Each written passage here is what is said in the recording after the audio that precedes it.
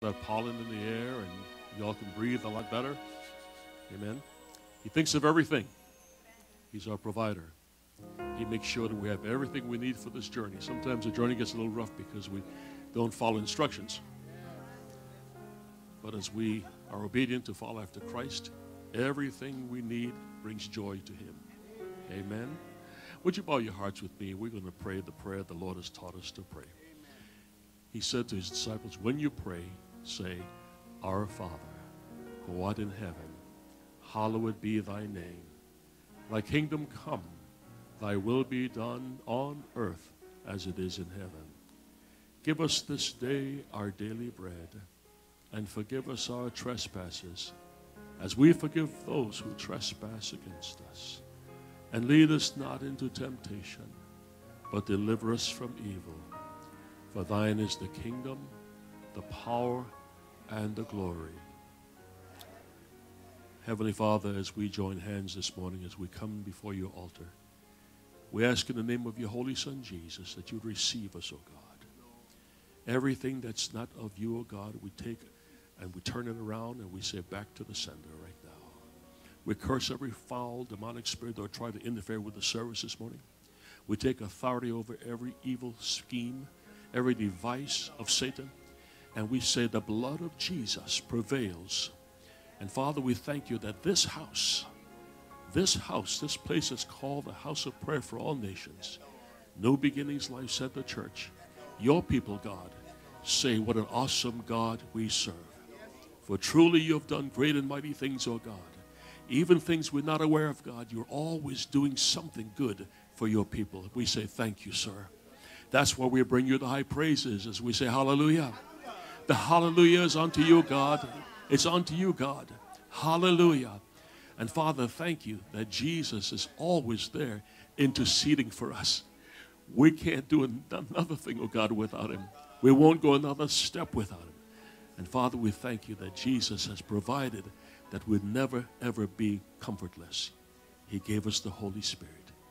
He who abides in us and with us, Father. We thank you, sir. Now, Father, we thank you that we celebrate today the risen Savior, Jesus, the Christ of God, your Son, our Redeemer. And Lord God, as we sing our songs and we rejoice in you, we ask for a special unction of your Holy Ghost Spirit to come and fill this temple. Saturate every life, O oh God. May we never be the same again, Father. Change us from glory to glory to glory. And Father, as we leave out our house this morning after this wonderful experience in your house, you said you would be with us. You'd never forsake us. So we thank you that you have a plan. And we submit to that plan, Father. Now, Holy Spirit, we ask you to have your way today. There are those who are coming with all kinds of needs, all kinds of situations that only you can take care of, Father. Now we turn it all over to you and we say, have your way, your plan, your purpose, your will. In the matchless name of Yeshua, the living Christ. As we all say together, Amen.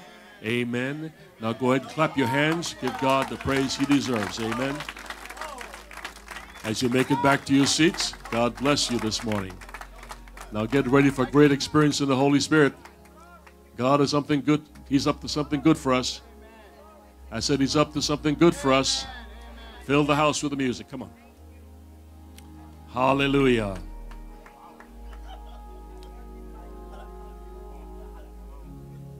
Hallelujah.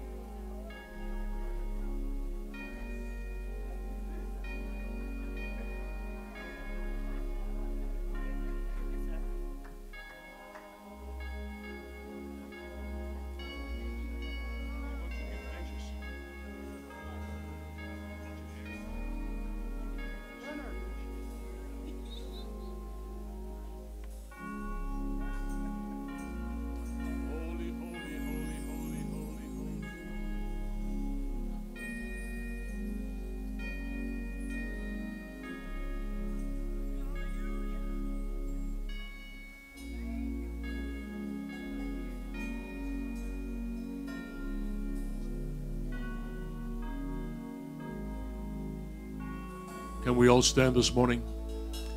Just lift up those holy hands unto the Lord this morning and thank Him.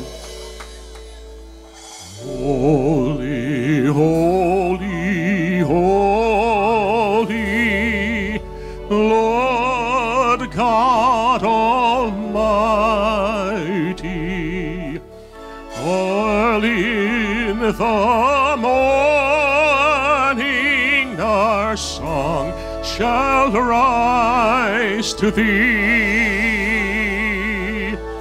Holy, holy, holy, merciful and mighty, merciful and mighty. God in three persons, God in the three per. Blessed Trinity, blessed Trinity. Oh, we serve a mighty God this morning. Come on, saints. Holy, holy, holy, merciful and mighty, early in the morning our song shall rise to thee.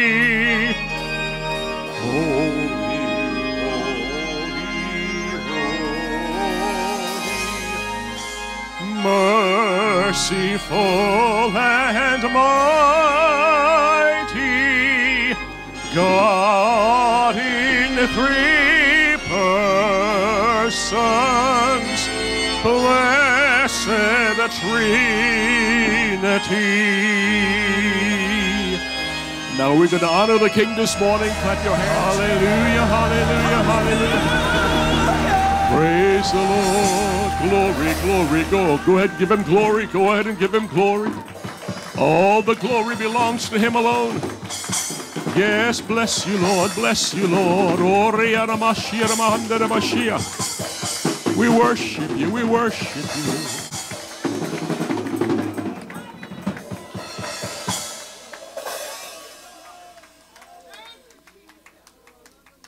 How many of you were up at 3 o'clock this morning? You know, it's amazing how the Lord waits until you're in a deep sleep to wake you up. Actually, He woke me about 2 o'clock, and uh, I decided, well, it's a good time to have some coffee.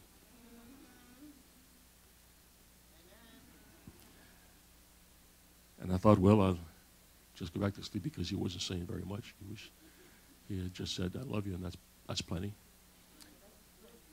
But I got back to bed and I couldn't sleep, and I, I lay there for the longest time, just waiting on God. And then he started to speak. You know, he's very concerned about us. Because we've got this notion thinking that we have to perform for him. You know, we sing the songs we like to sing. We don't consult him to see what he wants to hear. And he was very straightforward about this. He says, I need my people to get in sync with my spirit. Because too often we come to the house of the Lord and we have all these agendas and, and we, we want to see the service go the way we want it to go so we can get to the restaurant we want to. And then at 5.15, the Lord says, it's 5.15, get up. So you know me, I, I'm, I'm, I'm still in the flesh. I go check the clock at 5.15.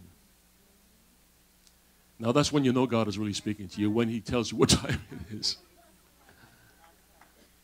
But he wants his people to enjoy the journey. Too many of us are caught up in all the troubles of the world and everybody else's trouble. You don't have enough troubles of your own. You got to go meddling with other folks and their troubles. God wants you to enjoy his presence. You see, this thing is being rushed. You know, we talk about Christmas coming, it'll be here soon. He said, I'm speeding up the times for the sake of my elect. I'm speeding up the times for the sake of those who are called by my name. You know, you're wondering, well, God, where's the time going? Well, He's speeding it up for your sake so that you can escape what's about to take place on the earth.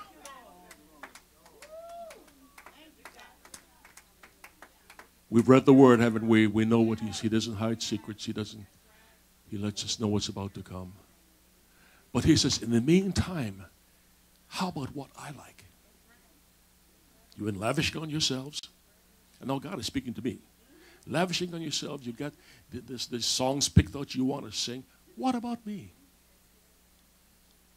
What about entering into the spirit realm and doing what I want you to do? Now you see, confession is good for the soul. Somebody say amen. amen. I'm sharing this with you because it was a personal experience, but you are having a personal experience also. If you will just get up when he says get up, listen when he says listen, and do when he says do. He's speaking right now to you. There's some things we all have to do concerning the living God. He wants the true worshiper. More than anything else, he wants the true worshiper to come forth. Hallelujah. Now, you love him this morning? Are you here with an agenda or you just came to worship and love on him? You see, it's good to come into the house of the Lord and lift up holy hands and make a noise and, and say we've been to church. But are you here to worship the living God this morning? You see, part of him is in you. Every time you inhale, you inhale God. Oh, thank you, Father. Father, we worship you. Just love on him right now. For thou, O Lord, art high above all the earth.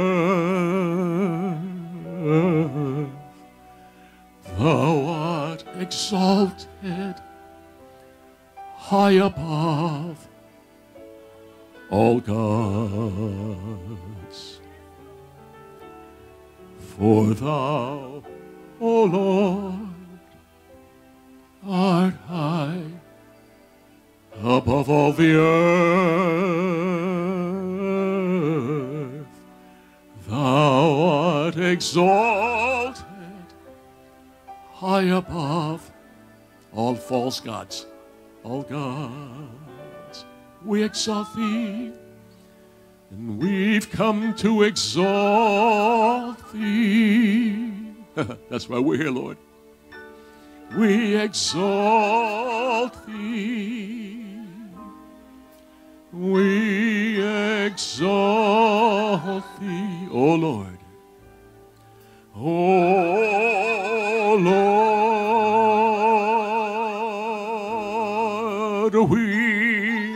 exalt thee. We exalt thee. we exalt thee, O, o Lord. For thou, Lord, art high, art high above all the earth, above all the earth. Thou art exalted far above all gods, all false gods. For thou, O Lord, for thou, O Lord, art high above all the earth. Thou art exalted far above all the gods. Let's exalt him this morning. Make it personal. Say, I exalt thee. It's you and God right now. I exalt thee. Oh, yes, call him Lord. Oh, Lord. I exalt thee. Oh God, you're awesome in all your ways. There's no God but you. We bless you, my King. Hallowed be your holy name.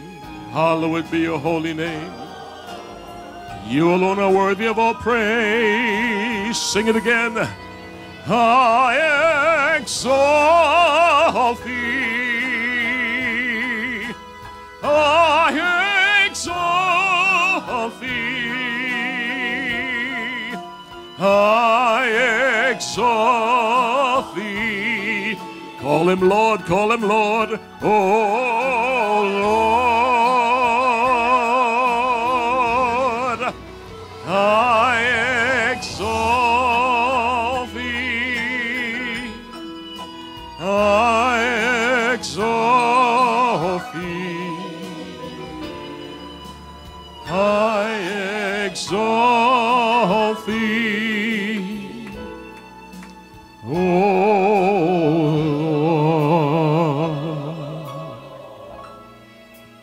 Thank you, Father. Father, we worship you. We give you worship from our hearts of thanksgiving, O God. For truly you are the awesome God who reigns. Blessed be your holy name. Glory, glory, glory. Thank you, Father. And then I heard the Lord say early this morning, He says, if you draw close to me, I will draw close to you. You see, it's the worship that gets his attention. All the other things we do are so mundane, they're not really that important because we're trying to satisfy flesh. But when you come into true worship, you get his attention. And you know what a good father does? Everything you ask him for, when he has your attention, he gives you. Money starts showing up in your pockets. The bank is telling you you have more money than you thought you had. Food in the cupboard. Somebody say, I love you. Friends start showing up and being true friends. Come on. Your loved ones behaving themselves like they should. And your behavior improves. It's just a wonderful thing serving this God, Jehovah, the Lord of hosts. Above him, there's no other. Come on, say it with me. Above him, there's no other. Hallelujah. Now touch somebody in front of you and behind you and say, Yes, we love the same God. Jehovah is his name. We love the same God.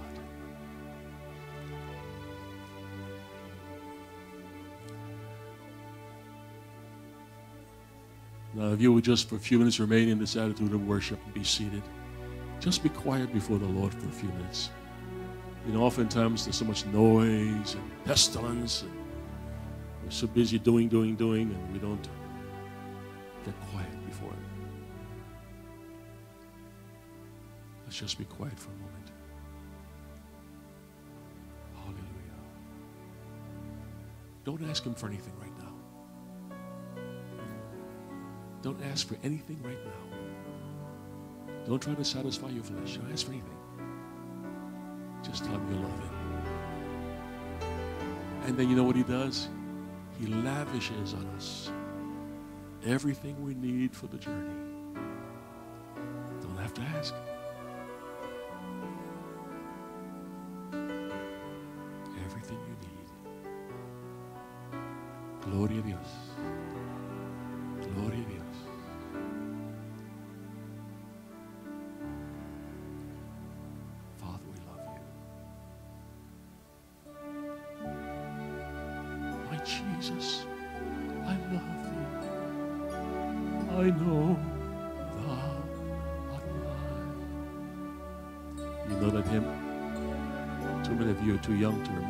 Know some of these old hymns.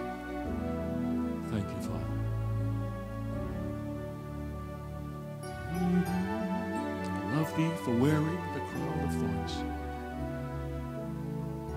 He did it just for me. And he goes on to say, if ever I love thee, my Jesus, here's what you have to do. You have to say to yourself, He loves me. Come on, say to yourself, He loves me. With all my faults, all my failures, He loves me. Even when I miss the mark, He still loves me. Call Him awesome. Somebody call Him awesome right now. Say, oh, yeah, call Him awesome. Oh, thank you, thank you, thank you. We've come to worship Him, haven't we? If ever I love my Jesus, now. Praise the Lord. So many good things in store for His people.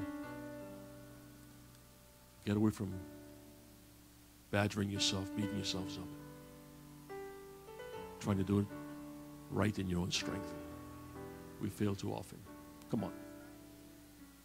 You know, even Paul, I was thinking about Paul recently, you know, he, you know, we have all this idea of what the thorn in the flesh was all about, but I think he was struggling with some real flesh things. And we all know how the flesh is. They'll try to pull you away from the Spirit of the living God. But Paul was used to write almost all of the New Testament in all that he had struggles with. And he loves you just the same. Uh, you know, the, the young kid says, How do you wrap you? Something wrong with that? How does it go? How do you wrap your head around it? it makes no sense. If you think about how wretched you are, it makes no sense that He would love us. But He does. And then He expects us to love Him and to line up with His Word. And the flesh gets upset because we got to sacrifice. We got to kill and murder our flesh every day and crucify that thing. It's ugly. But He loved you enough to send Jesus Christ his only begotten Son to take your penalty on a cruel cross. I asked the Father, why, why is it he had to die such a cruel death? You know what God said to me? He says, Son, it's because, like, let me, let me explain this to you because you need to know. That's how God talks to me. You see, he had to experience everything that you'd have to go through. The mocking. How many of you have ever been mocked? The cruelty, Maybe not the literal spitting in your face, but how many of you have spit in your face? Just evil things coming at you and the beatings.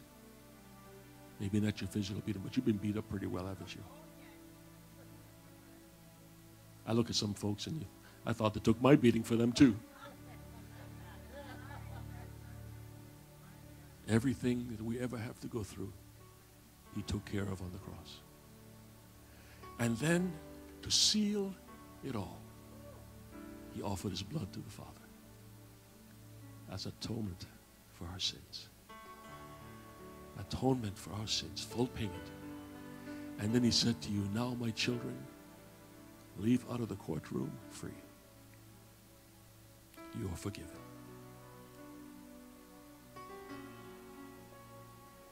My God. Think about you. Think about you for a moment. It's all been washed away. It's been erased. You have no past. He's giving you a future and a hope. Stop looking back. Keep your focus. For one day he'll burst through the skies. Right, nurse? To claim his bride. Any brides in the house? Brides of Christ, that is. Hallelujah. Hallelujah. Ladies, you won't have to worry about another wardrobe fitting. I have nothing in the closet to wear.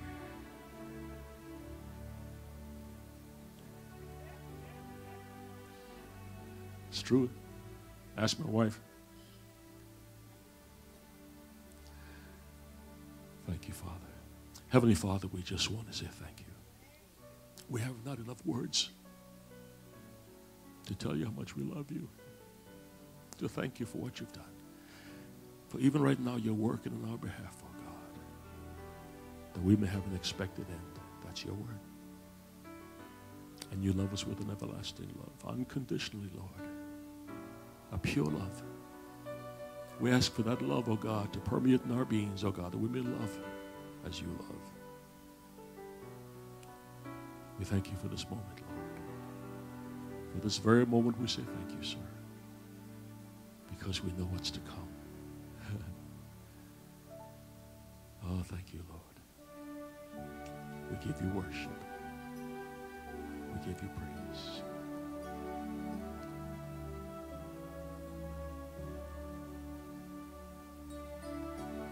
That should feel pretty good to you right now. You should sense a healing taking place in your mortal bodies right now. Your minds are saturated with the healing power of God. All the ugly things are being washed away. Amen.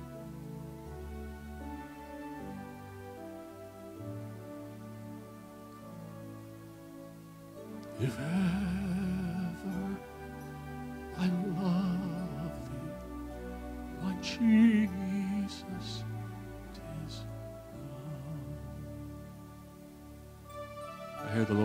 find fault with others. Because when you judge, you will be judged. Find something good about somebody and honor that.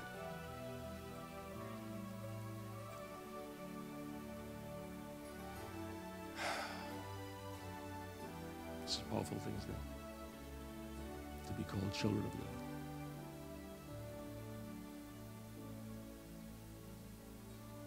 If ever I love thee, my Jesus, tis now. Praise the Lord. I said, Praise the Lord. Let everything that had breath praise the Lord. The Lord is good, and his mercies endure forever. The Lord is good, and his mercies endure forever. Well, keep those hands going. Celebrate the Lord. Tell him how much you love him.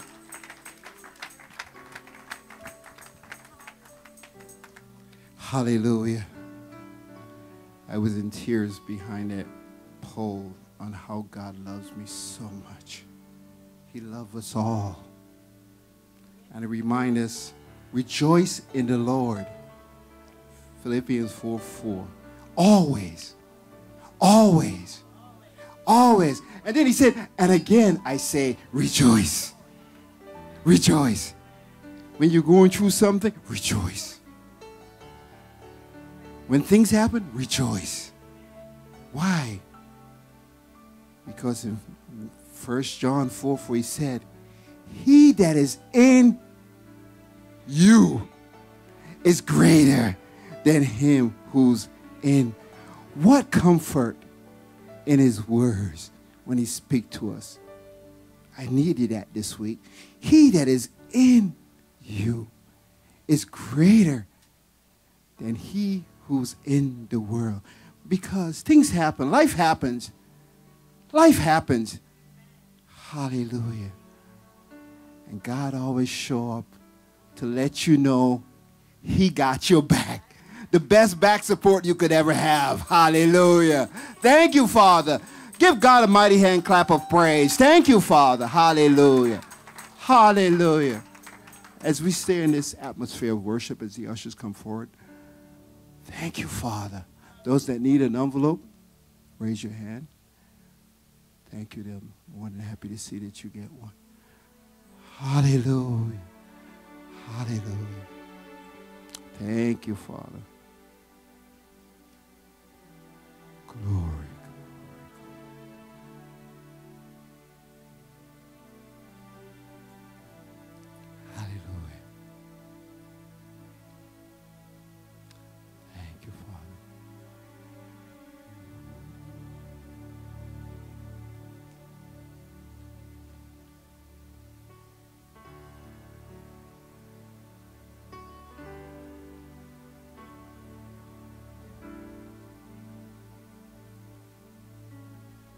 Hallelujah.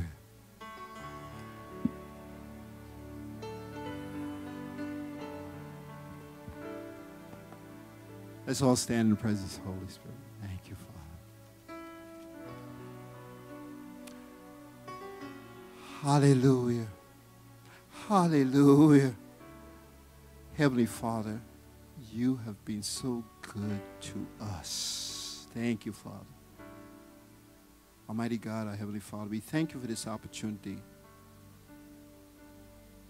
to come before you to return what rightfully belongs to you. It all belongs to you. Yes, Father. Our hands are for receiving and also giving. We thank you for your word.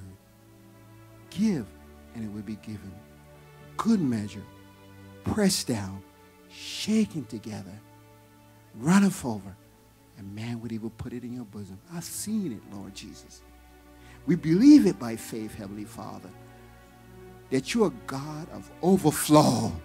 This is our season of overflow in every area of our lives. Thank you, Father. Physical, spiritual, financial. Thank you, Father. And Father, as we receive from you, Heavenly Father, let us all be conduits and give to the various ministries, not only of this house, but beyond these doors.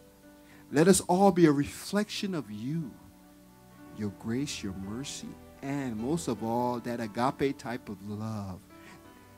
Thank you, Father. Bless this offering to overflow, Father. Meet every need of your people, Heavenly Father. And we thank you in advance for what's about to take place, Heavenly Father. Hallelujah you will get the glory, the honor, and all the praise as we serve you faithfully, as we obey you faithfully, as we do, thus say the Lord, and surrender all will for your will, Heavenly Father. We thank you in advance, Father, as we give you the honor and give you all the praise that belongs to you and you alone. In the mighty name of Jesus, all God's people say, Amen. Hallelujah. Hallelujah.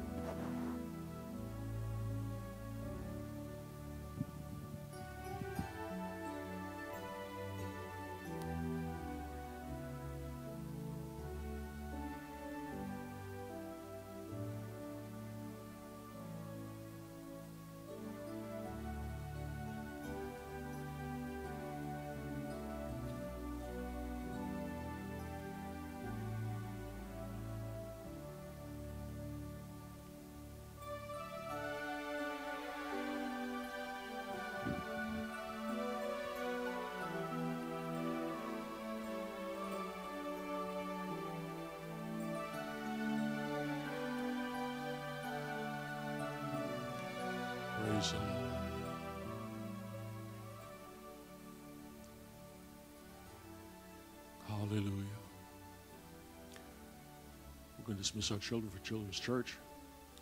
Those of you who would like to, uh, parents who'd like to have the children taught the true word from the Bible this morning, would you uh, dismiss them and make sure you come and collect them at the end of the service? Take them home with you. Do not leave them here. We raised ours. It's your responsibility. Amen. Prof. Ephraim, are you teaching? Oh, okay. Raise your hand, teacher Zach. Zach is going to be teaching the children today. All right, praise the Lord. So we dismiss the children at this time. He doesn't want to go. Okay, well, Zach, you'll have to wait till next week. Uh, we only have one child, he doesn't want to come today. So, all right, see. And he was worshiping the Lord with all his might. I tell you, the little boy loves the Lord. You can tell. Amen. Praise the Lord. We'd like to recognize our first time visitors. If you're here for the very first time, would you mind standing? We just want to celebrate you today. Amen. If this is your first time here, oh, look at this. Hallelujah. Remain standing if you would. We want to get to know you. You see, once you came through those doors, you were no longer a stranger in our family. Would you tell us who you are? Wisconsin. Okay. And you are? Sharon and Sharon from uh, Wisconsin and Hudson. Okay, good. I like that. And back here. Nick from Spring Hill. Remain standing if you would. And ma'am? So, what brought you here? Oh, good for you. And what's your son's name? Good name. And I, I may have spoken with you yesterday on the phone. Somebody called and asked what time the service was? Okay. Would you tell us your name? Filbert? All right. And, and, and you? God bless you. Well, church, go get them. Let them know their family. Make them feel at home. Amen. You have two minutes to do this.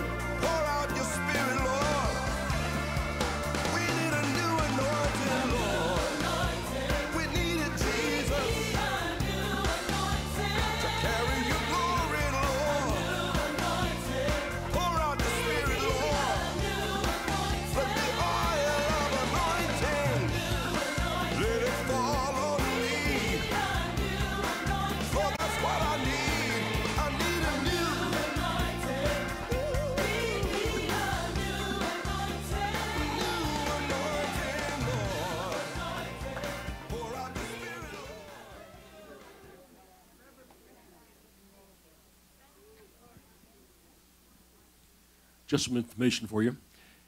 On uh, May 16th, Thursday, Thursday night. Come on, say Thursday night. May 16th at 7 o'clock. Now, most of you know that I've been uh, the soloist for Dr. Cerullo, Morris Cerullo, for 25 years. Well, his ministry is coming to New Beginnings Life Center. That's the 16th of May.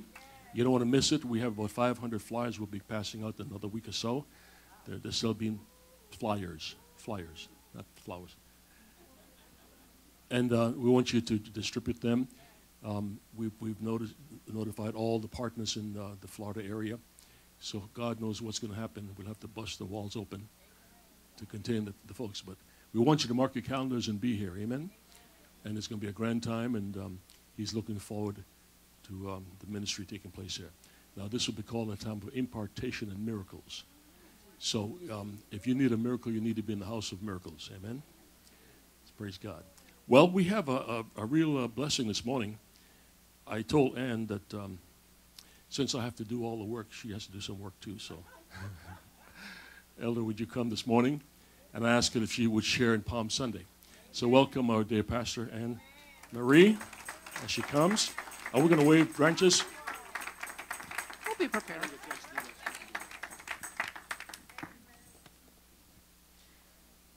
All right, thank you. Let me just get my thoughts together here. In the meantime, Lord, just thank you. Thank you. You've already been here to visit with us today. You've already saturated us in worship, Lord. You've met us where we're at. Lord, we just ask that the words that are spoken, the thoughts that are imparted, Lord, today, be of you and you alone. Thank you, Lord, that each and every person here has an ear to hear, Lord, that you are the true God, Jehovah Jireh, Jesus, our Savior. Thank you, Lord. Thank you, Lord. Oh, Holy Spirit, have your way, Lord. In Jesus' mighty name, amen. As Pastor said, he was leading worship today, so he asked me to share a little bit about Palm Sunday. And I told him, well, I hope I can do it justice. It's one of my favorites, and I'm hoping I can do it some justice here. As a junior in high school, a couple decades ago, I had the opportunity to be chosen as a delegate for our Girl Scout Council to represent Western New York in the country of Bermuda. And we did a lot of things. We presented gifts as ambassadors of the region to the governor, and we toured and we camped on our little island and we took a boat into the city every day. But one of the things that we did, and this happened over spring break, we were able to attend a Palm Sunday service at an Anglican church. And I'd never been to an Anglican church, and I really don't know much about them. I had grown up in a Catholic church, and we'd always celebrated Palm Sunday, and to me it was just Sunday before Easter. But in the Anglican church, they had a little different aspect about it, and I don't really remember all the words that were spoken. I don't remember all the scriptures that were given, but I remember the reverence. And I remember the celebration that they had. And we were all given little crosses that were made out of palms to celebrate.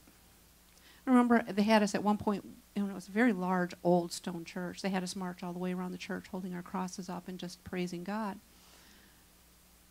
And that changed the way I looked at Palm Sunday. Palm Sunday, also known as the Passion Sunday. And I want to start out with scripture, Matthew 21, 1 through 11. And it's interesting because I looked back there when I gave Bill the scripture to pull up on the screen. Bill, uh, Pastor had already written it down. I said, Pastor, you chose my scriptures. There's, there's four accounts of Palm Sunday, what we know as Palm Sunday. One in Matthew, Mark, Luke, and John. But we had both chosen Matthew. I just want to read that. Now, when they drew near Jerusalem and came to Bethphage on the Mount of Olives, then Jesus sent two disciples, saying to them, Go into the village opposite you, and immediately you will find a donkey tied, with a colt with her. Loose them and bring them to me. And if anyone says anything to you, you shall say, The Lord has need of them. All this was done that it might be fulfilled, which was spoken by the prophet, saying, Tell the daughter of Zion, Behold, your king is coming to you, lowly and sitting on a donkey, a colt, the foal of a donkey. So the disciples went and did as Jesus commanded them. They brought the donkey and the colt, and laid their clothes upon them, and they set him upon them. And a very great multitude spread their clothes on the road. Others cut down branches from the trees and spread them on the road in front of him. Then the multitudes who went before those who followed and cried out, saying, Hosanna to the Son of David. Blessed is he who comes in the name of the Lord. Hosanna in the highest. And when he had come to Jerusalem, all the city was moved, saying, Who is this? So the multitude said, This is Jesus, the prophet from Nazareth of Galilee. Again, I said there's parallels in Mark, Luke, John. They all have a little different storytelling, but it's basically the same scene. Now, let me set the scene for you. I think we have to go back, and there's a lot of symbolism and history involved in here, so I'm going to take a few moments and go over that. Jerusalem at the time that this was written and is taking place, as Jesus triumphantly enters into the city. Jerusalem is under Roman rule They've been conquered by Rome. They're under Roman rule. They have a king that was appointed by the Roman rulers. At this point, it's Herod Antipas, which is the third of the Roman kings. There's Greeks, there's Jews, there's different temples, there's different gods that are worshipped. But it's coming up on the Passover, which we learned about last week and the significance of the Passover. The Passover celebration, a lot of the Jews in the land would travel to Jerusalem to make their sacrifice and celebrate the Passover. So Jesus and his disciples were there for that reason as they rode into the city. There was a lot of people. Uh, there's a lot of dispute about what the population of Jerusalem was back in that day, anywhere from 40 to 60,000, some say more. Um, most people agree somewhere in that area, but it's not clear if it was only Jews that were counted or if slaves and women and children were counted or not.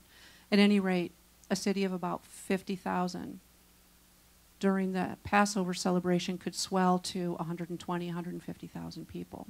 Foreigners, uh, visitors, people just swarming around. So this is the city that Jesus rode into. But let me set the stage by going back almost 4,000 years, 2,000 years before Jesus himself was born in Genesis. We meet a man named Abraham. And Abraham journeyed from his father's land into the land of Canaan to establish himself and his family. We know the story of Abraham, Abram at the time, and Sarai, who became Abraham and Sarah. They were given a promise when they entered the land of Canaan. They were given a promise. They were both visited by the angel of the Lord, and they were told that they would bear a child and be Abraham himself would be the father of many nations. And of course, you know the story. They laughed. Sarah was old and barren, and they didn't think that it was possible. They took things into their own hands. Ishmael was the son of Abraham and their um, maidservant. But that wasn't the promise. The promise was Isaac. And so we find Isaac, and we know the story of Isaac as well. And we know that from you know, small children growing up. We know that Isaac was the promise, but at some point, and again, it's disputed. Some people, some some theologians think that Isaac was a small child. I read one story where they thought that he was in his 30s when this happened, but the Lord said to sacrifice his only son. So Abraham, being obedient, knowing that the promise had been fulfilled, took his son to the mount and laid him on the altar. But the sacrifice was provided there in the thicket. The ram was stuck in the bushes, and that was the sacrifice. So Isaac was spared. Isaac, then, who married Rebekah and bore him twin sons, Jacob and Esau. Jacob being the younger of the two, born second the birthright really went to Esau. But through deception, Jacob deceived his father in his old age and received the birthright and the inheritance from Isaac. So we have Abraham, Isaac, and Jacob. We see in Genesis 32 that Jacob journeyed, found a wife, two wives actually, sisters Leah and Rachel. As he was journeying back, to his homeland, he was visited by an angel of God. He wrestled all night with the angel. And at that point in time, his name was changed from Jacob to Israel, meaning, may God prevail. God prevailed with him, and thus the nation of Israel was born. So we go back, the ancestry, Abraham, Isaac, and Jacob. Now, Jacob, in, uh, we see about the 12 sons in Genesis 35. We have his first wife, Leah. We have Reuben, Simeon, Levi, Judah, Issachar, and Zebulon. We have with her handmaiden Zilpah, Gad, and Asher, and with Rachel. Now, Rachel is the woman that Jacob truly loved. That's who he desired for his wife. He had to work very hard for his father in law to earn that right he was deceived and given Leah first, and he worked hard for seven more years to receive Rachel as his wife. Rachel was the favored and beloved wife, and he, she bore two children, Joseph and Benjamin. Her handmaiden bore Dan and Naphtali. Those are the 12 sons of Jacob. Those are the 12 tribes, the, the nation of Israel. So now we go further and we see Joseph. He was the oldest or the firstborn of Rachel but the second to the youngest of all of the children. He was favored because he was the firstborn of the favorite wife. He was very highly favored and loved by his father, which made his brothers jealous. He even had a dream that his brothers would bow down to him. Filled with pride and jealousy, his brothers conspired against him. Some of them wanted to kill him and tell their father that he'd been eaten by a wild beast it was only Reuben and Judah of his brothers that stood up for him and said, No, we don't want this blood on our hands. We're not going to kill him. Instead, here come the Ishmaelites. We'll sell him, and they'll take him away. We'll tell our father that he died. They still deceived them, but they didn't want the blood on their hands. So he was sold for 20 shekels of silver and taken away to Egypt. But over the next 20 years, he prospered he was shown favor because he was given the gift of God, of dreams. He could interpret dreams, and the Pharaoh knew that and called upon him. Even though he was in prison, Pharaoh went to him. And finally, he was actually put in charge and called a governor of the land. He was one of the highest ranking officials, even though he was not of that nationality. Pharaoh trusted him, the governors trusted him. And there came a time of prosperity in the land. But because Joseph was a dreamer because he heard from God. He knew that there would be a time of famine. So through the time of prosperity, he gathered into the storehouses and made sure all the storehouses in the land of Egypt were full so that the people wouldn't go hungry. And when the famine hit, it hit throughout the entire world. There wasn't a place that was spared. And Jacob, in his old age, heard that there was food in Egypt. And so he sent ten of the sons only holding back the youngest, Benjamin. He had already lost Joseph, or so he thought. He had lost Joseph. So he, he kept Benjamin with him and sent the other ten sons to the land of Egypt to find grain. When they got there, and it had been 20 years. Joseph was 17 when they sold him into slavery. So he was still a young boy or young man. When they got there, they didn't recognize him. Now, whether it was because he had aged whether it was because he hid himself or whether it was because God disguised him, they did not recognize him. He recognized them and knew it was his brothers coming to him for food. Through a series of events, he told them what was going on. He sold them the food, and then he put the money that they paid for it back in the bags. They traveled back to their father with the food under the condition that they were going to bring to him the youngest son, Benjamin. Joseph dearly wanted to see his, his full brother, his baby brother, Benjamin. Jacob didn't want to didn't want to let Benjamin go. So they tarried for a time, and then when the food ran out again, Jacob said, "Okay, take Benjamin and get more food." So when Benjamin came back, Joseph revealed who he was, revealed that he was the brother that he that was lost. And instead of being angry and instead of holding it against his brothers, he forgave them. They were still a little bit afraid of what they had done because they knew that they had done wrong, but they were afraid. But at this point in time, Jacob, in his old age, is brought back, and Joseph wants to take care of them and has them to settle in the land of Goshen, which is part of Egypt. He has the, his entire family come. So with Jacob, all of his brothers, all of their wives, and all of their children, there's a total of 70 people. And I'm going into detail here so that we can set up the stage for Palm Sunday, so bear with me here a little bit. So there's 70 people in this family, and that's including Joseph and his family that settle in Egypt. 70 people. Some of us have 70 people in our family. I know there's a lot of Italian families that have more than that. There's a lot of, you know, families around here that when you count the wives and the cousins and everyone, there's 70 people and you can get together and have a gathering like that. So 70 people settled in the land of Goshen in Egypt. And God prospered them. God prospered them. They lived there for a period of time. But what happened was they multiplied and they prospered. And because they did well, the old Pharaoh died and a new Pharaoh came and didn't recognize Joseph, didn't know Joseph, didn't know who he was and that he had status. And he was afraid because there was these foreigners in the land that were doing so well, that were prospering, that had grown from 70 people to a half million people. Now they're between 500 and 600,000 people in a foreign land. This family is now spread out.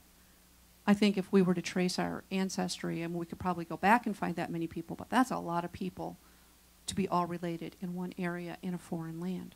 Pharaoh was afraid. They were afraid because they prospered because of God. He was afraid because he thought they could take us over. So at some point he said, all the firstborn males are to be cast into the river. All of the firstborn males of all the Hebrew children will be cast into the river and killed. Got to stop this family from growing. And we see Jochebed, a faithful woman with a son named Moses. She hid him for three months, but when she couldn't hide him any longer, she put him in a basket and she made sure that basket was sealed with tar and she put it in the bulrushes in the river. So technically, she had done as, as what was commanded. The baby was in the river. But she put it there strategically so that Pharaoh's daughter would find the babe. And when Pharaoh's daughter saw the baby and saw that he was hungry and crying, she took pity on him and she took the baby out of the river. She knew it was a Hebrew child, but she didn't care. She, she loved that baby. His older sister said, Shall I fetch a nurse for you? And went and got Jochebed. So the mother of the baby wet nursed the baby, wrote, grew him in his formative years when he was weaned, and in some accounts he could have been seven to eight years old at this point. So he had a foundation in the Hebrew faith. He knew he was a child of Abraham, Isaac, and Jacob. He knew he was part of Israel. But at that point, he was turned back over to Pharaoh's daughter and grew up in the palace of the Pharaoh. He grew up as a brother to the future Pharaoh. He grew up in the ways of Egypt. Long story short here, he one day witnessed one of the Hebrew children, one of the Hebrew slaves at this time, because they are enslaved, they're doing the work of the Egyptians. They're now trying to be oppre- trying to oppress and suppress them. He sees one being abused, and he murders the Egyptian guard. In fear for his life, he runs and hides for 40 years. Eventually, he comes back. He has the burning bush experience, knows who God is. God reveals his name, Jehovah, I am that I am, and tells him that you're going to be the people's deliverer. So he goes back. And in dealing with Pharaoh, please set my people free. And he goes back several times. And the Lord brings the plagues upon Egypt to show that he is God and that those people need to be set free. Finally, they're given the instructions for the Passover those in the family of Israel did as commanded. They sacrificed the lamb. They put the blood on the, the lintel and the doorposts. They consumed the lamb, cooked it according, according to instructions, consumed the lamb.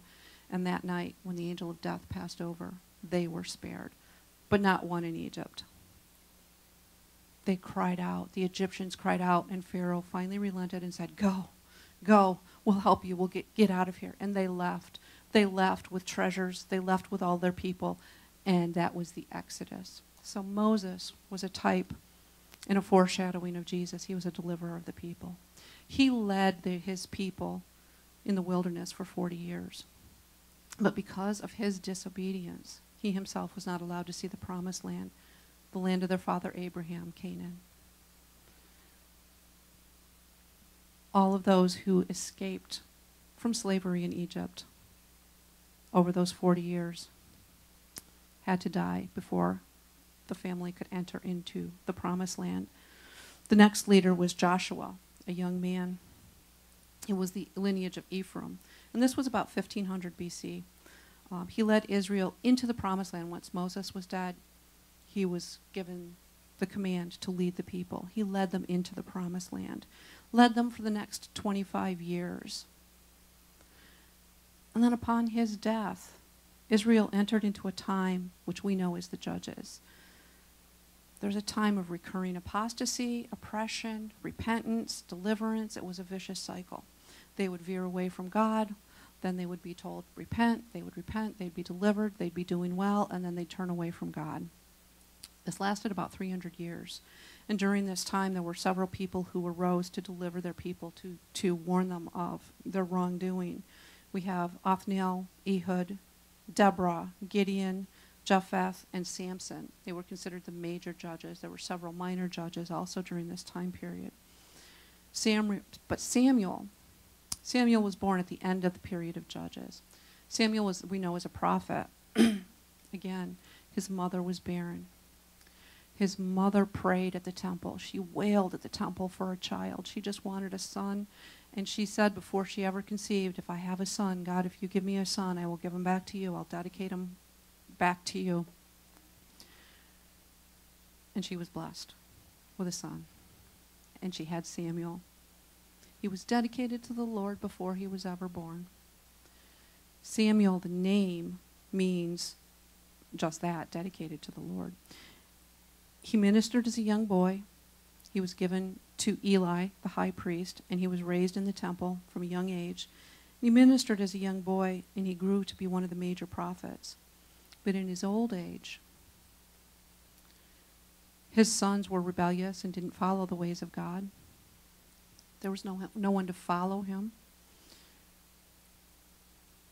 And the people of God, and this is in 1 Samuel 8 and 5, the elders of the people demanded a king like the rest of the nations. All of the surrounding nations, all of their enemies, had kings and leaders and rulers. And the elders demanded a king like the rest of the nations. Well, it greatly upset Samuel, so he went to the Lord in prayer. And in verse 7, the Lord tells him, Heed the voice of the people in all that they say to you, for they have not rejected you, but they have rejected me that I should not reign over them. You see, God was their king. God was meant to be their king. The people rejected that. They wanted a king like everybody else. Now, a young man named Saul, whose father was Kish, and had donkeys. The donkeys wandered off one day, and Kish sent his son Saul and a companion to find the wayward donkeys. They looked for three days, and everywhere they went, they said, Oh no, they were here yesterday, but they've gone on. So they finally ended up near the town where Samuel was. And they decided, We can't find the donkeys. Let's seek the wisdom of the man of God, Samuel. So they went to Samuel.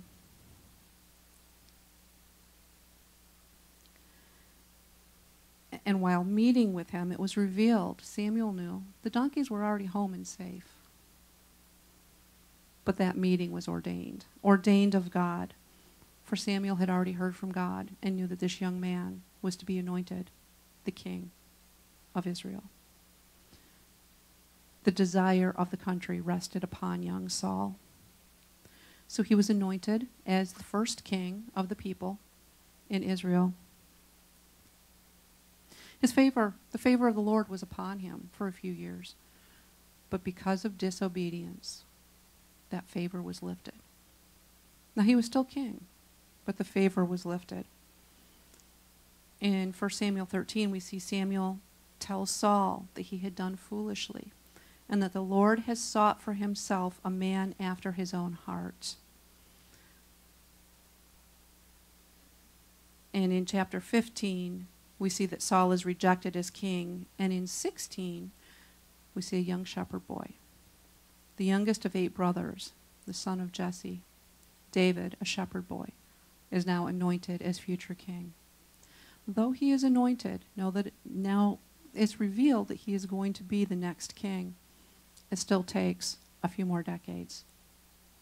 Saul is out of favor, but he's still the king. When he finally dies, David has been matured enough to rule the people. Thus, the house of David is established nearly a thousand years before the birth of Christ. Now, there were 40 other kings that ruled the land of Israel. And at one point, they separated. It was Israel and Judah. Finally, David reunited them. There was a long, tumultuous journey here. Uh, around 1100 BC, we hear from the prophets in the Old Testament. There's years of exile, turmoil, and destruction. But through that, the prophets encourage the people. They encourage the people by reminding them of the promised Messiah, of the house of David. They urge them to repent and return to their God. Similar theme here. It goes in cycles. They repent, they return to God, then they walk in disobedience. They live in famine, fear, and war. Then they repent and they go back to God. One of those prophets, Zechariah, whose name means Yahweh or Jehovah remembers, was one of those who lived around 500 years before Jesus was born. In Zechariah 9 and 9, it says, Rejoice greatly, O daughter of Zion. Shout, O daughter of Jerusalem. Behold, your king is coming to you. He is just and having salvation, lowly and riding on a donkey. 500 years before Jesus was born, the promised Messiah, he's lowly and coming on a donkey. Well, the long line of succession of the kings, good and bad, ended when the Roman Empire started to move eastward. They conquered the land about 63 BC, so about six decades before Jesus was born. They conquered and they appointed a king, King Herod I first, or Herod the Great. He was appointed king of the Jews in 40 BC. So he ruled for quite a while, and he was the ruler of the land when Jesus was born. He was the one that ordered his death. Um, afraid that if the king of the Jews was born, that he could be out of a job. Sounds familiar. Sounds just like Pharaoh and Moses. By the time of Jesus' birth, this region was governed by foreigners under Roman rule, governed by a foreign king, an appointed king by the Roman rulers. The Jews were oppressed by Roman rule, and they were looking for their king. They wanted a king. Again, history repeats itself. They wanted a king. In John 11, well, we know Jesus was born. We know that some thought he was the promised Messiah. Obviously, three wise men followed the star and traveled to Bethlehem and paid him homage as king. When they visited with Herod, he wanted to know more about it, and the wise men heard from the angel of the Lord, Go back a different way. Do not reveal these secrets. So, because Herod didn't know exactly when and where or who Jesus was, he ordered that all of the firstborn be killed. And Joseph, in a dream, heard from the angel of the Lord and took Mary and baby Jesus to Egypt. When Herod the first died and they heard of it, they came back to their homeland. Jesus, at the young age of 12, knew what he was about. He knew he was about his father's business. He was in the temple preaching. They had gone for a Passover, and that plays a big role in the New Testament. We see at least four or five um, incidents where they were in the city, traveled to Jerusalem to celebrate the Passover feast.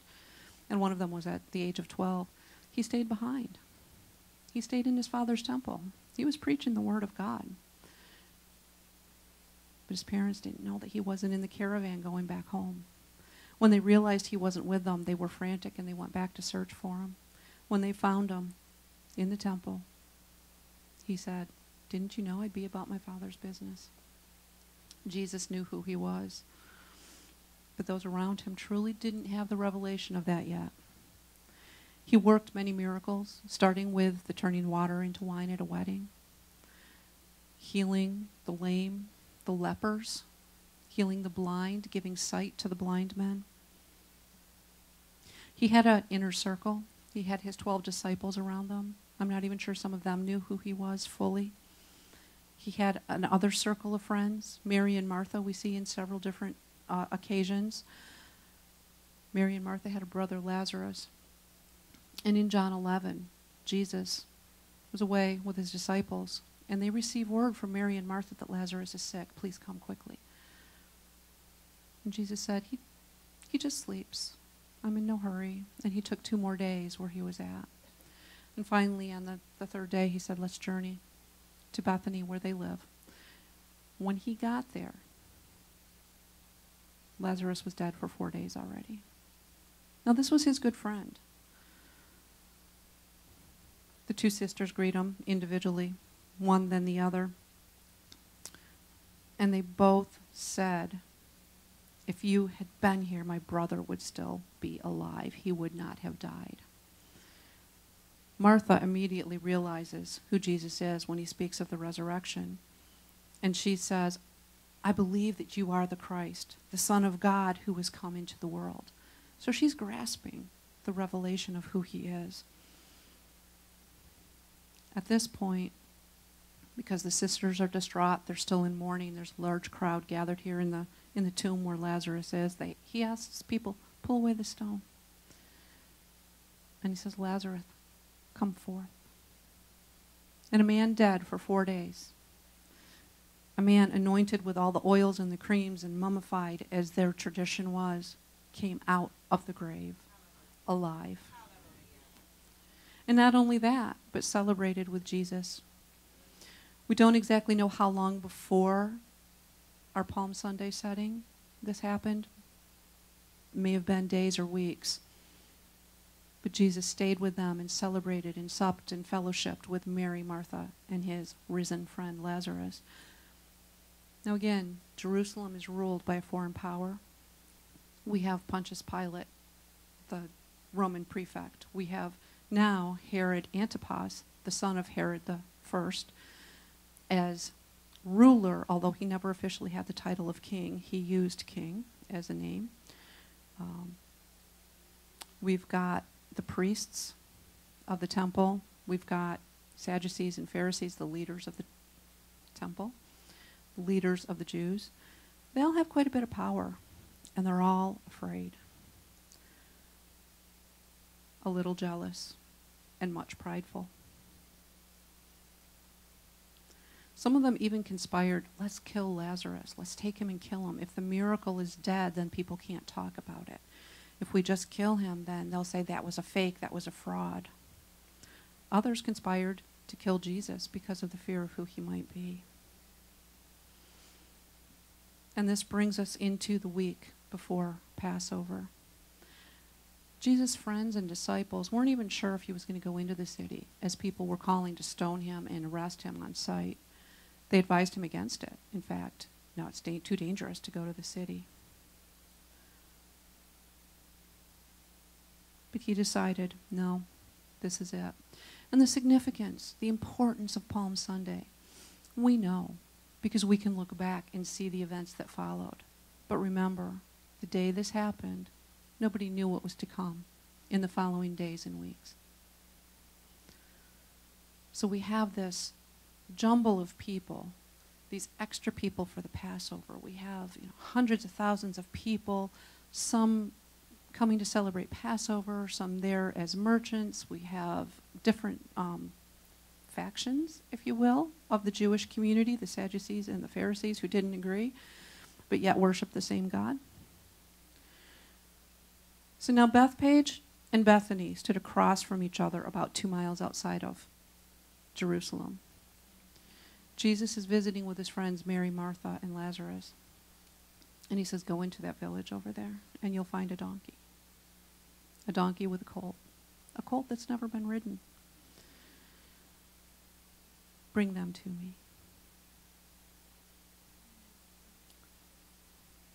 I'm not sure about you, but if a friend of mine said, "Go over there. There's there's a car, two or two bicycles over there. I need them. Go get them for me." I'm not sure I would take someone else's bicycles and bring them back. That's stealing, folks. I'm not sure. But Jesus did say, if anyone asks, say, I have need of them. And in one of the versions, they are asked, and they say, oh, My Lord has need of them. And so they're allowed to take the donkey and the colt. And they bring them back. And this is where we see Jesus. And we talk about the symbolism now. I think I brought you through the history of where we're at today in Jerusalem. Hustling and bustling city, people there buying their animals for sacrifice, um, people camping out because they were just visiting for the for the celebration, um, all kinds of people, leaders who were not in agreement with one another, um, multiple leaders, um, which is never a good thing.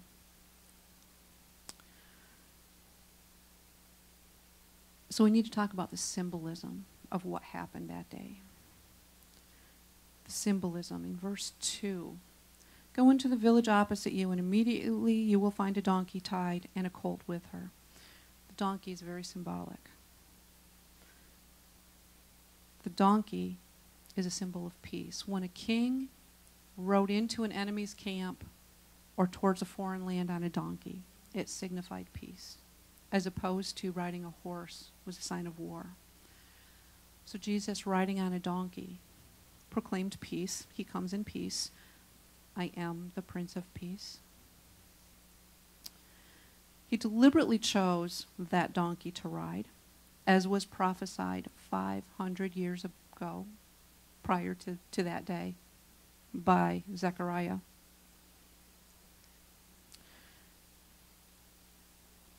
The colt had never been ridden. Some scholars say that that's why the donkey and the colt were both brought. It was a young foal, a young colt that had never been ridden. The donkey was there to keep the young colt in line. But symbolically, the colt that had never been ridden. In Numbers and in Deuteronomy, according to the law, it says that anything to be used for a sacred purpose can never have been used for any purpose prior to that.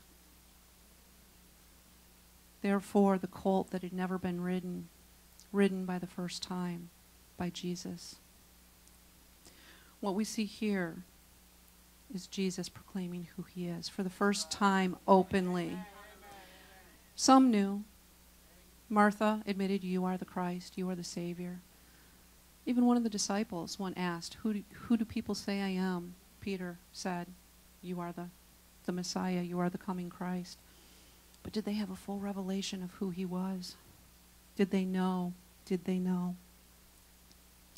The donkey also is a beast of burden. The common man uses a donkey to get from point A to point B, to haul his goods to, to the market. That brought Jesus to their level so that he could talk or speak or witness to all levels.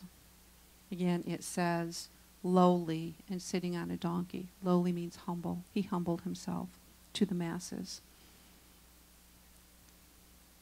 And this brings me back to the first king, Saul. Isn't it interesting that Saul, when he was appointed and anointed king of Israel, was looking for his father's donkeys? brings us full circle back to Jesus entering the city on a donkey that had never, the colt, the foal of a donkey that had never been ridden. In verse 7, it says that they laid their clothes on the donkey and set Jesus on the animal. There was a sign of reverence in the days of the kings. The king should never walk on the bare path. They would always throw a carpet or have a carpet for the king to walk on so that he wouldn't dirty his feet they would throw a cloak down so that he wouldn't stand on the bare ground. So they threw, the disciples threw their clothes on the donkey and then put Jesus upon the donkey. And now, as they enter into the city, I wonder how many of those thousands gathered saw what was really happening. Did they know? Did they get the revelation? Did they know Jesus is proclaiming, I am the fulfillment of this prophecy 500 years ago. I am the Messiah. I am your King. I am the Prince of Peace. I come, I humble myself. I'm riding into the city to present myself to you. They were looking for a king. They wanted to be saved from Roman rule. They wanted to be saved from the oppression from the Romans. They wanted the Romans out of there, and they wanted a warrior king to save them from that. That's what the people were looking for.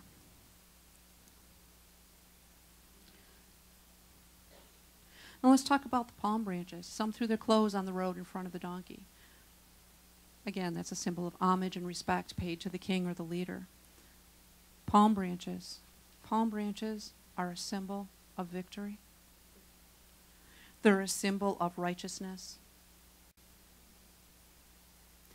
In the first century, palm branches were used for the Christian martyrs to signify their victory over death. They had eternal life most cultures of the time used palm branches after a battle or a sporting event. The masses, the army would walk in with their palm branches and people would wave the palm branches at them in reverence. It's a sign of victory. It's a sign of righteousness. It also points to Revelation 7, 9, and 10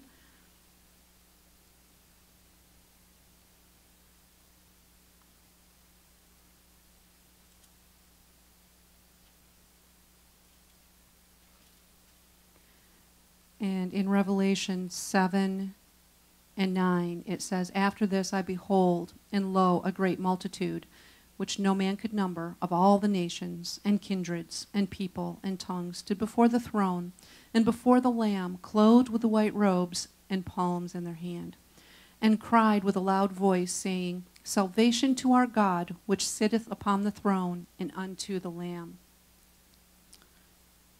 The palms were significant they thought their king was here, they were waving in victory. But it also points to who Jesus really is. Much of that symbolism was missed by those that were there that day. Again, they wanted to be free from the Roman rule. They wanted to be free from tyranny. They thought this was their king coming to rescue them and throw the Romans out of their land. Jesus had another plan. Jesus had another plan. While they wanted to be saved from tyranny, they wanted a leader that would conquer their physical enemy.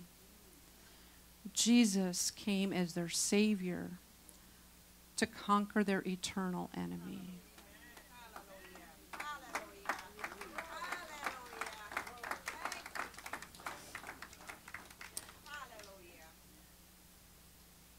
All four of the Gospels, the headlines say the triumphant entry into Jerusalem. And it was a triumphant entry into Jerusalem. Jesus was proclaiming who he was. He knew who he was. He came as their Savior. He came to save them from sin and death. They thought they knew who he was. They, they gave him the respect of a king by preparing the road and throwing their cloaks down and putting branches down. They waved the palm branches as a sign of victory. Our king is here, our king is here. They cried, Hosanna, Hosanna. And that actually goes back to meaning save now. It was a plea from the people, welcoming Jesus as their king, but were they acknowledging him as their Savior?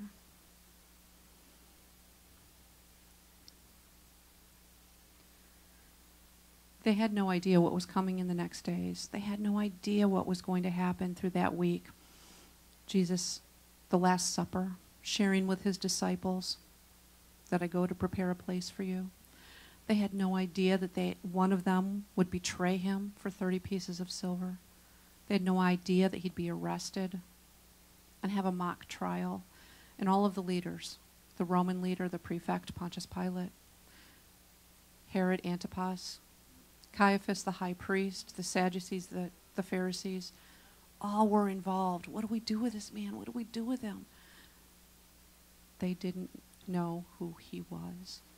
and they were afraid of who he could be. And so they conspired against him. Nobody wanted the blood on their hands. They wanted to pass it off to the next person. So they said, let the people decide. Let the people decide. And it was the custom at the Passover when so many people were gathered in the city that they would free a prisoner every year for redemption purposes, just an act of good faith. Who do you want? Barabbas, who was a rebel at the time. He actually was conspiring against the Roman leaders and trying to overthrow them. People saw him as a leader, he was a warrior, and he'd been arrested for that very thing. And now they, they're given the choice Barabbas or Jesus. And who did they choose? They should have chosen Jesus, but they chose Barabbas because they thought he was a warrior and could overthrow and free them from the Roman tyranny. And therefore, they were condemning Jesus to the cross and crucifixion. But it wasn't the people that put Jesus on the cross. It was God's love that put Jesus on the cross. It was God's love for each and every one of them and each and every one of us. That love, that love that we felt this morning, Pastor, that love that He has for us. That's what put Jesus on the cross. And as Jesus was on the cross, He knew he knew what was coming. He knew this had to be done. Now remember, Jesus was with God before the world was formed. Before he put the oceans and the skies and the stars and the sun. Before he formed the land and the waters. Before he land, before he created every living creature. Before he breathed life into man, Jesus was with God. They had a plan. They had a plan, and that plan just so happened to take place in Jerusalem at the time of the Passover when there was no king for the Jews. Jesus made the proclamation that day, riding into town on a donkey, being the path being covered with cloaks and branches, the people hailing him, Hosanna, Hosanna, here's our Savior and our King. The very people that condemned him because of their sin and disobedience. Now, we saw throughout the history of Israel it was sin and disobedience that caused them to fall. It was repentance and redemption that caused them to be in favor of, with God. God would bless them as long as he, he was the one being honored and glorified. God would not bless them as long as He was not the one being glorified and honored. And how often do we see them turn their back and worship other idols? And today, we may not worship other gods, other deities, but we have our idols. We have our idols in this world. We have our uh, things. We have status. We have our agendas. We have things that we put before God. So today, on Palm Sunday, it's a reminder for us to recognize Jesus not only as King, but as our Savior, who has the victory over sin and death. And I ask you today does He reign in our, your lives above all else? Or are you like the people who rejected their King? because he wasn't what they expected. God's ways are higher than our ways. His thoughts are not our thoughts. When we get blessed in a way that we didn't expect, sometimes it shocks us or disappoints us. We have to learn to expect bigger and greater because it's God that's blessing us when we expect things to be a certain way or to go a certain way and they don't, why are we disappointed? When God blesses us bigger and better than we could have ever imagined. Who is your king today? Are you letting Him reign over every area of your life? That's the question. And today, if Jesus is, is your Lord and King, if He is your Savior, not just rescuing you from the tyranny of the world, but rescuing you from eternal damnation. If Jesus is your Savior, your King, if He is your everything, then we can stand triumphantly and we can wave the palm branches.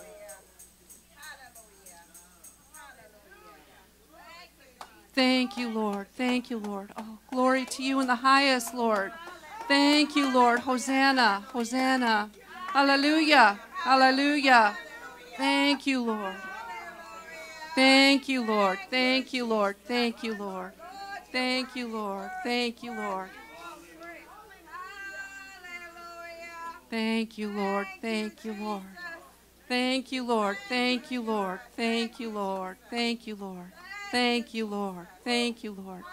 We give you all thanks and praise and glory and honor for what you've done, oh God. Thank you, Lord. Thank you, Lord. Thank you, Lord.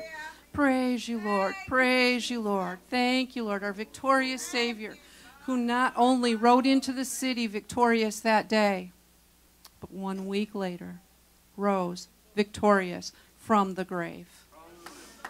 Thank you, Lord. Now that is something to celebrate. Thank you, Lord.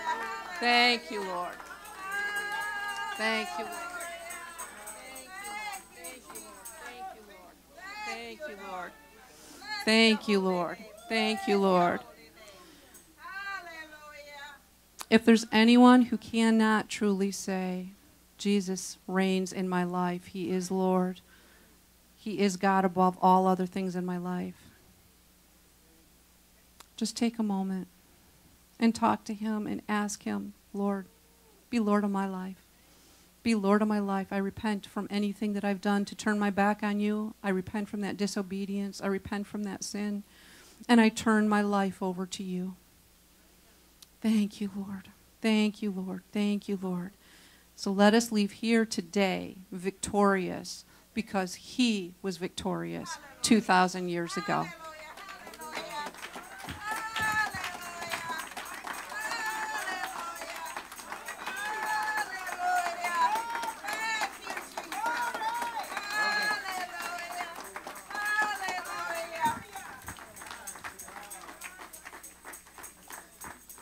Let's all stand this morning. Do you remember when you, you're in school and uh, you couldn't get it together because you couldn't remember history and you could, couldn't quite live up to the mark? Well, you got a dose of history this morning. you got the whole Bible this morning. Amen. Just wonderful. We so much appreciate that, dear. Elder Ann, how she um, prepares and delivers the message. Amen.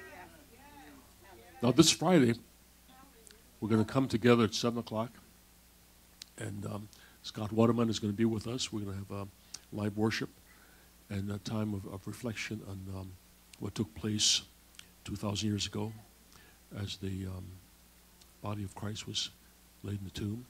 And then Sunday morning, he'll be here with us also, and we're going to just celebrate the resurrection. Amen? Now, let me tell you something about the resurrection. Every day is a resurrection Sunday. But we choose to celebrate in another way this coming Sunday by coming together and uh, coming to the house of the Lord and uh, rejoicing. Amen? So before you go before I go any further, just tell the person next to you, you're a resurrected being.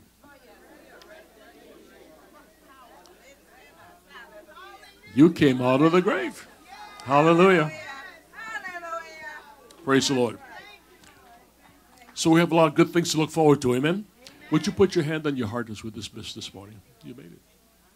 I know the Lord bless you and keep you. The Lord cause his face to shine upon you and be gracious unto you. The Lord lift up his countenance upon you and give you his perfect peace. In the name of our loving Heavenly Father, who loves us unconditionally. In the name of Yeshua, the living Christ of God, our Savior and our Redeemer. In the name of the sweet Holy Spirit who abides with us and in us, I bless you with all heavenly blessings in the name of Jesus Christ, the risen Son of God. I declare you're the blessed of God. Get ready for the shower of blessings on your life in every area body, soul, and spirit. Amen. Amen. Now you can celebrate. We'll see you Friday evening at 7 o'clock. Don't forget, Scott's going to be with us. It's going to be a great time. And then Easter Sunday, Resurrection Sunday, is going to be a glorious another time of coming together. God bless you.